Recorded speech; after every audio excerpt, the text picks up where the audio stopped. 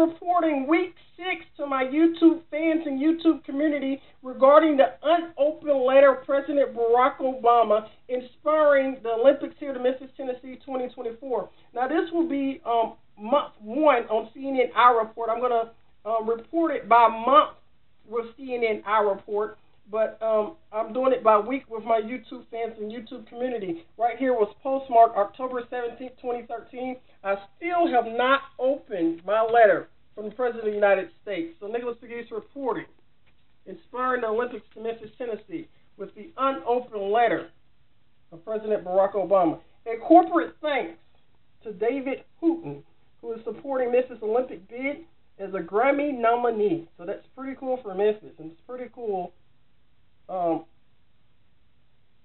for the Mid South community. Nicholas Pegues reporting a corporate thanks. Month one.